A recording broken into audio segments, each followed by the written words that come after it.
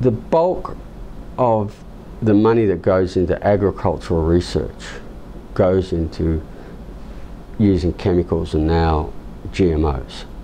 And we're talking about billions and billions of dollars every year, of which, you know, less than a fraction of a percent goes to organic and agroecological methods. What, what we need to do is also see a shift in that research funding away from chemical-based agriculture to good ecological-based agriculture. Because now that we're starting to get that research, we are getting equal to higher yields than, than chemical-based agriculture.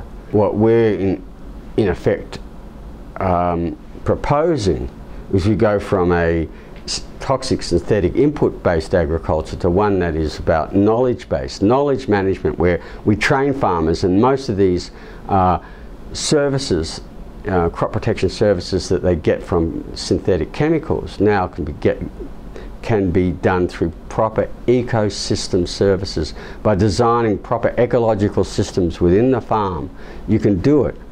And that for farmers means that once they've got these systems up, they don't have to pay any money. That's going to make their farm so much more profitable because they're not paying out all these bills for fertilizers and, and, and for insecticides.